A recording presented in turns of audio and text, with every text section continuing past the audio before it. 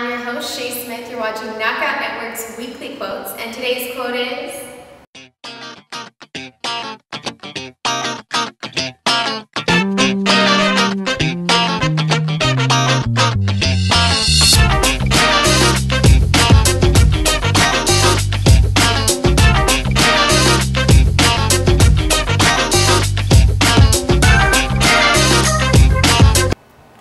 difference between sex and money and sex for free is that sex with money usually costs a lot less. And that's quoted by Brendan Behan.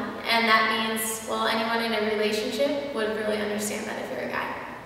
I'm Shea Smith. You're watching Knockout Network's weekly quotes. And subscribe to our channel and check us out next week.